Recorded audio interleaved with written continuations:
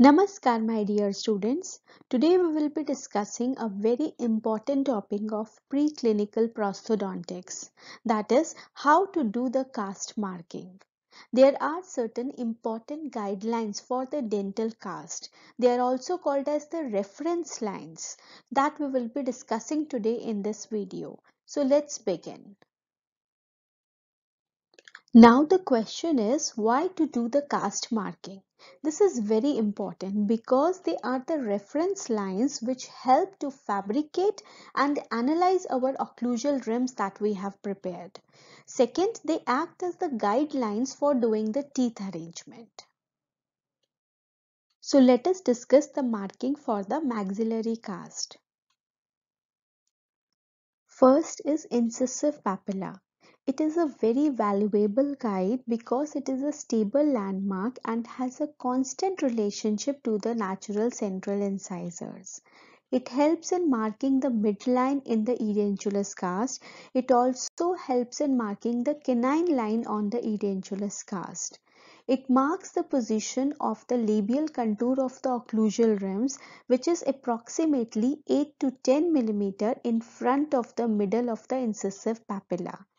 Besides, it acts as a reference for positioning the central incisors which is again 8 to 10 mm in front of the middle of the incisive papilla.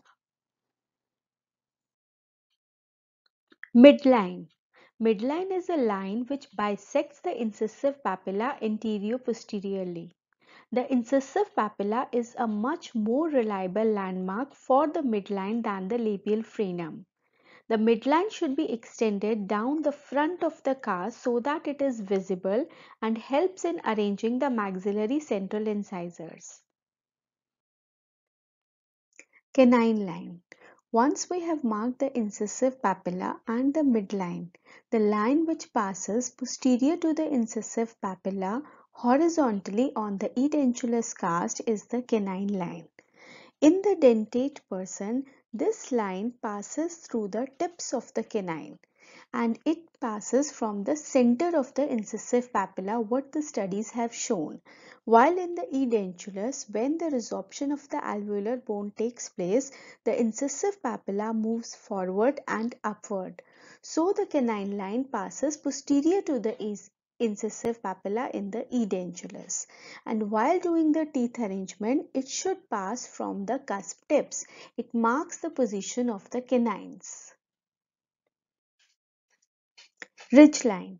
The line which bisects the major portion of the ridge is called as the ridge line. The line extends from the canine line posteriorly to the land area bisecting the ridge. The occlusal rims should follow this line. While doing the teeth arrangement, the central groove of the posterior teeth should lie slightly buccal to this line. Now let us discuss some important guidelines in relation to the mandibular cast. Retromolar pads a very important landmark on the mandibular cast because the position of the pads remain constant even after the natural teeth are extracted. So once we have marked the retromolar pad, divide it into three equal parts. Second, it acts as an excellent guide for determining the plane of occlusion. So while fabricating the occlusal rims, the height of the rims posteriorly should flush with the two-third height of the retromolar pad. It also helps in recording the ridge line. Canine line. A line that bisects the interior portion of the ridge horizontally is called as the canine line. It is an important guideline which marks the position of the canines in the lower arch. Ridge line, a very important reference line. A line which is drawn from the canine region which bisects the retromolar pad posteriorly is the ridge line. All the reference lines should be extended to the land area so that they are visible when the rims are placed on the cast. Then the occlusal rims are fabricated according to this ridge line. It will bisect the occlusal rim posteriorly. While doing the teeth arrangement, it marks the placement of the central grooves on the ridge.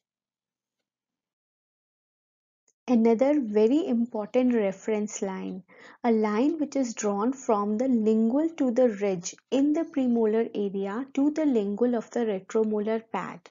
It marks the lingual extent of the occlusal rims.